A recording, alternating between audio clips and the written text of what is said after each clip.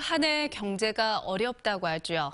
그래서 지역 경제를 떠받치고 있는 주력 기업들의 올해 전망을 살펴보는 기획 보도를 마련했습니다. 오늘은 첫 순서로 광주 경제의 3분의 1을 책임지고 있는 기아 자동차입니다. 이재용 기자입니다.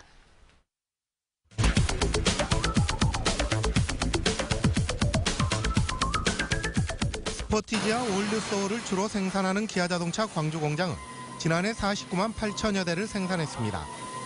3년 연속 50만 대 생산 돌파는 실패했지만 장기간 파업과 글로벌 불황 등 어려웠던 사정을 고려하면 선전한 실적이라며 올해도 연간 50만 대 생산 목표를 잡고 있습니다.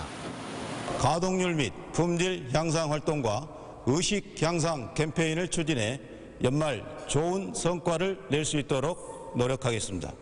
변수는 국내 정치 상황과 트럼프 정부 출범 등 대내외적인 불확실성입니다. 생산량의 80%가량을 북미 등으로 수출하는 광주 공장의 경우 한미 FTA 재협상 등 트럼프 리스크가 현실화된다면 타격이 예상됩니다. 올해 글로벌 자동차 시장의 저성장 전망도 우려되는 부분입니다. 세계 자동차 시장 자체가 이제 성장률이 둔화되고 있는데 2016년도에 성장률이 뭐 2.6% 감소한 반면에 금년도에는 그 1.5% 정도 성장률이 감소할 것으로 그렇게 예측되고 있고요. 이에 대해 업계 안팎에서는 자동차 분야 소비자 만족도 조사에서 세계적인 권위를 자랑하는 미국의 JD 파워사가 기아 자동차 광주 공장을 2년 연속 품질 우수 공장으로 선정한 것에 주목하고 있습니다. 품질 강화를 통한 글로벌 경쟁력 확보가 해법이 될 수 있다는 겁니다.